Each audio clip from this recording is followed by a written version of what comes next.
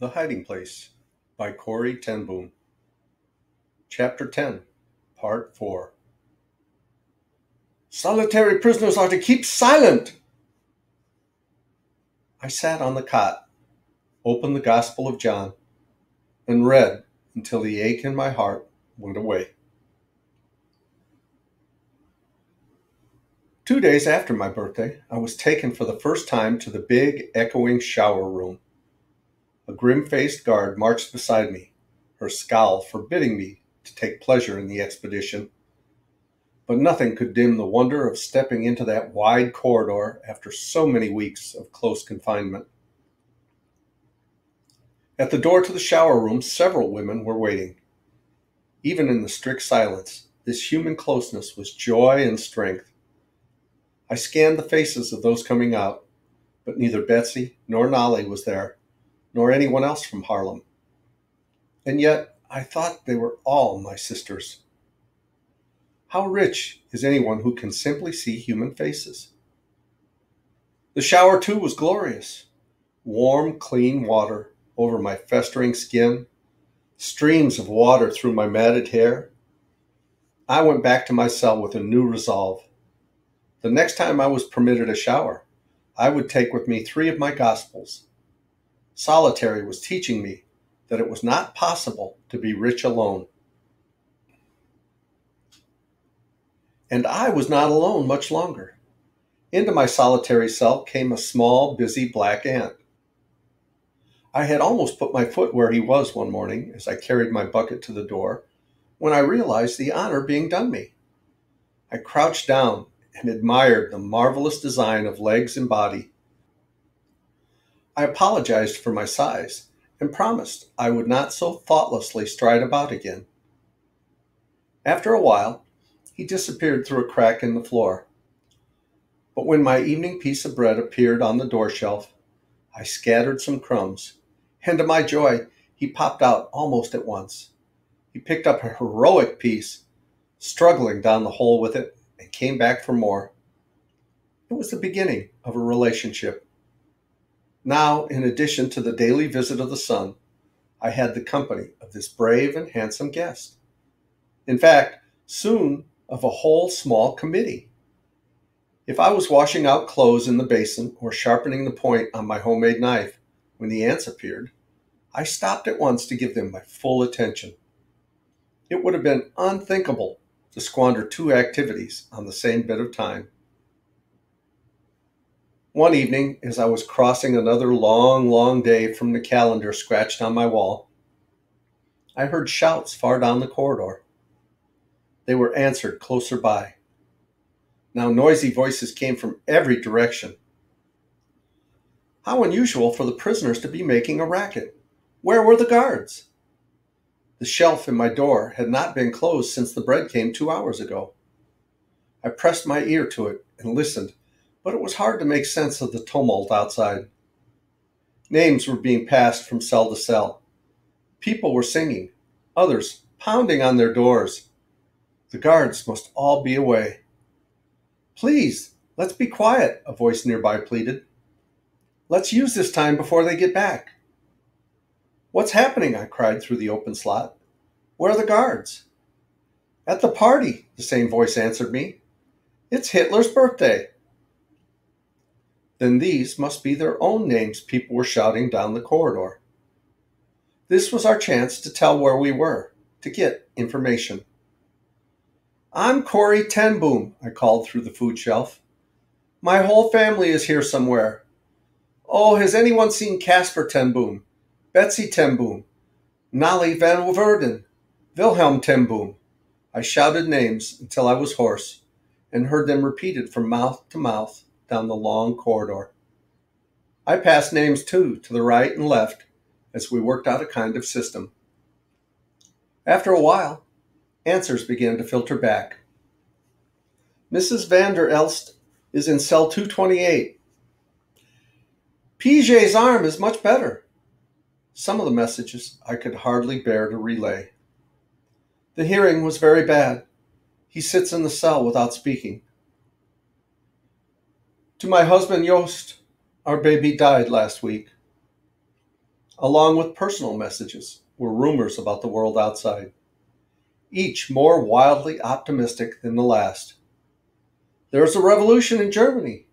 The Allies have invaded Europe. The war cannot last three weeks longer. At last, some of the names I had shouted out began to return. Betsie ten Boom is in cell 312. She says to tell you that God is good. Oh, that was Betsie. That was every inch Betsie. Then, Nollie Van Woerden was in cell 318, but she was released more than a month ago. Released. Oh, thank God. Toos two released.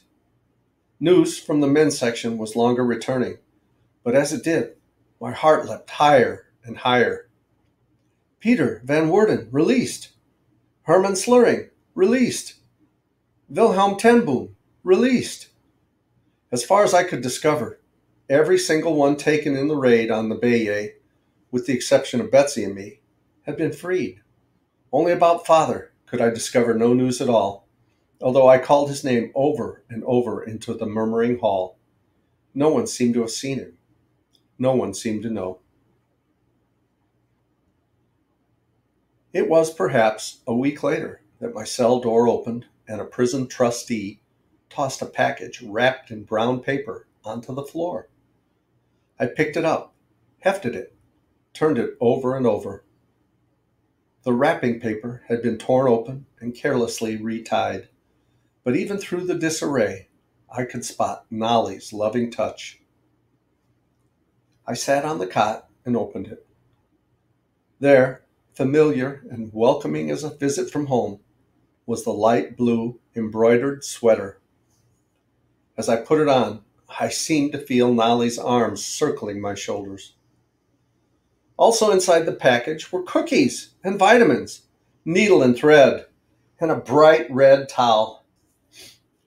How Nollie understood the gray color hunger of prison. She had even wrapped the cookies in gay red cellophane. I was biting into the first one when an inspiration came to me. I dragged a cot out from the wall to stand under the naked overhead bulb. Climbing on it, I fashioned a lampshade with the paper. A cheery red glow at once suffused the bleak little room. I was rewrapping the cookies in the brown outer paper when my eyes fell on the address written in Nollie's careful hand, slanting upward toward the postage stamp. But Nollie's handwriting did not slant. The stamp. Hadn't a message once come to the Beje under a stamp? Penciled in the tiny square beneath. Laughing at my own overwrought imagination, I moistened the paper in the basin water and worked the stamp gently free. Words! There was definitely writing there, but so tiny I had to climb again onto the cot and hold the paper close to the shaded bulb. All the watches in your closet are safe. Safe. Then, then Eusie and Henk and Mary and they'd got out of the secret room. They'd escaped. They were free. I burst into racking sobs, then heard heavy footsteps bearing down the corridor. Hastily, I jumped down from the cot and shoved it back to the wall. The pass through clattered open. What's the commotion in there? It's nothing. I I won't do it again. The slot in the door snapped shut. How had they managed it? How had they got past the soldiers? Never mind. Dear Lord, you were there, and that was all that mattered.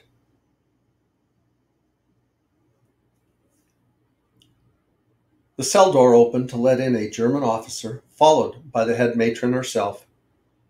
My eyes ran hungrily over the well pressed uniform with its rows of brilliant colored battle ribbons.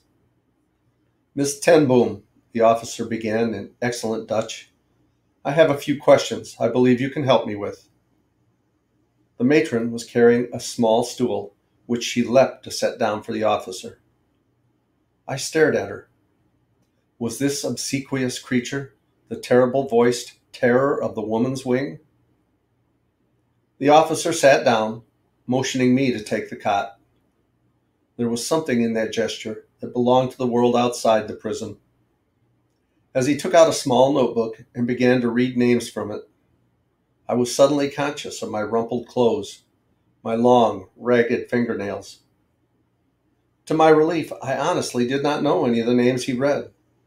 Now I understood the wisdom of the ubiquitous Mr. Smith. The officer stood up. Will you be feeling well enough to come for your hearing soon? Again, that ordinary human manner. Yes, I I hope so.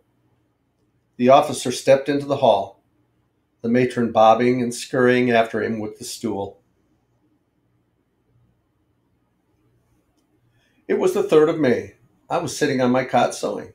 Since Nollie's package had been delivered, I had a wonderful new occupation. One by one, I was pulling the threads from the red towel and with them embroidering bright figures on the pajamas that I had only recently stopped wearing beneath my clothes. A window with ruffled curtains, a flower with an impossible number of petals and leaves.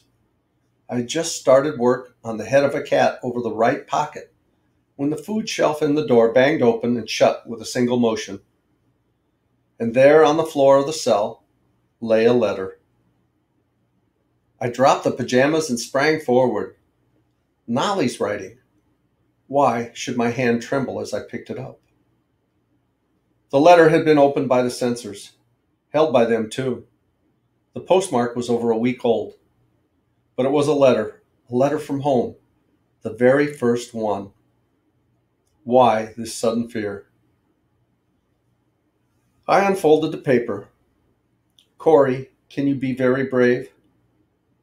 No, no, I couldn't be brave. I forced my eyes to read on.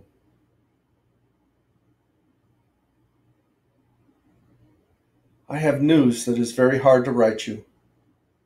Father survived his arrest by only 10 days. He is now with the Lord.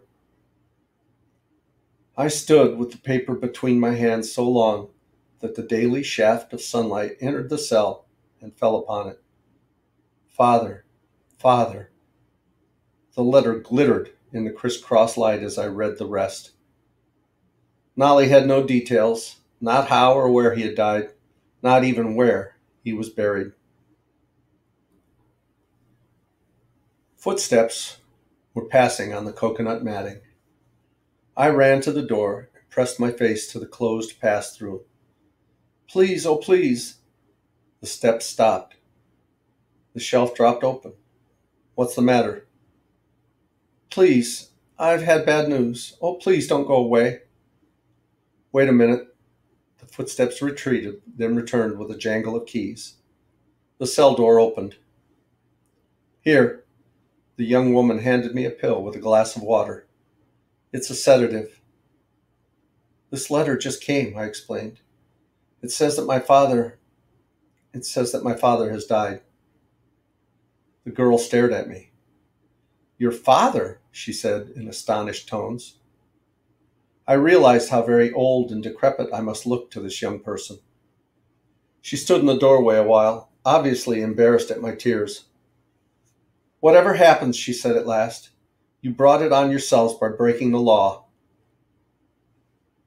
Dear Jesus, I whispered as the door slammed and her footsteps died away. How foolish of me to have called for a human help when you were here. To think that Father sees you now, face to face, to think that he and Mama are together again, walking those bright streets. I pulled the cot from the wall and below the calendar scratched another date March 9th, 1944. Father, released. And we'll continue with the hiding place in the next video. Till then, thank you so much for listening. I love you guys. Bye bye.